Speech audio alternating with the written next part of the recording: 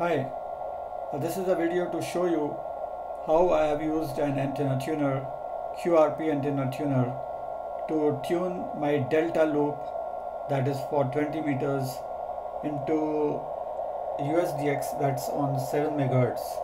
So what I'm uh, doing is that I'm using a delta loop that is on 20 meters and I'm going to use it on 7 megahertz with USDX. So I'll be using the CW mode to test it. So this is the tuner. Uh, this is the tuner that I've made. This will be coming out in a kit form.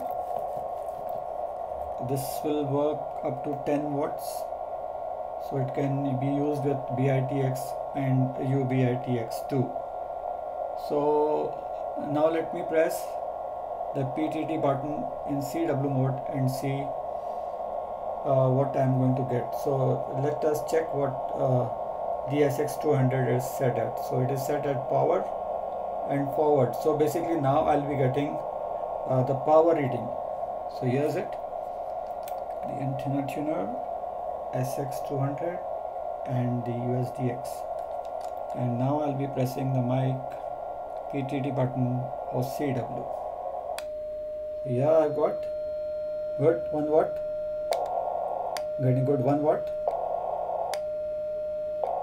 The actual power is also 1 watt. It is not that uh, the power is falling. I'm uh, already getting 1 watt with a 50 ohms dummy load. So here I'm getting full 1 watt.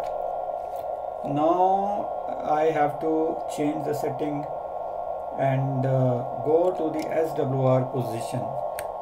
Here I'm gone on the SWR position. And now I'm gone to the reflected position. So now let us see if I am getting any SWR. Nil. The SWR is nil. So I can show you also if I just detune it a bit. How is the condition?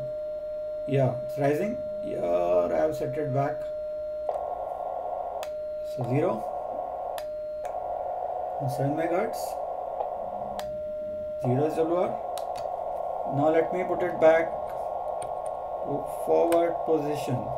Power forward. See 1 watt. So that's it guys.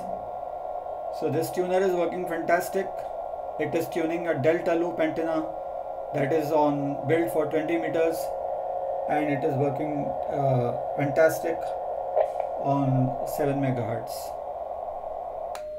So thank you and best of 73s